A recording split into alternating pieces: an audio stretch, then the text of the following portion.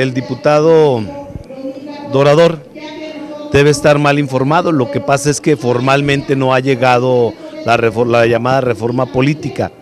Eh, nosotros ya varios diputados tenemos conocimiento de ella, en qué términos viene el dictamen, en función de conocerlo a través de la página del propio Congreso, de la Unión, de la Cámara de Diputados, pero formalmente no ha llegado. Nosotros no podemos iniciar una discusión, mucho menos una aprobación, si, si no ha llegado la minuta de decreto.